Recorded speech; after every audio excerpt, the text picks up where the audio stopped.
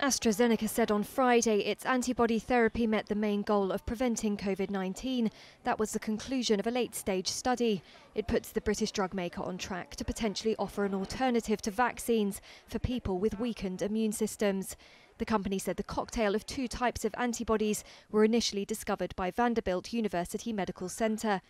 AstraZeneca said the combination reduced by 77% the risk of developing symptomatic COVID 19. It added that more than 75% of the participants had chronic conditions, including some linked to a diminished immune response to vaccination. The Anglo Swedish drug maker is also working on repurposing existing drugs to fight the virus. An AstraZeneca executive said the prospect of offering new treatment to prevent COVID 19 could position the British drug maker as a supplier of both vaccines and drugs which guard against the infectious disease.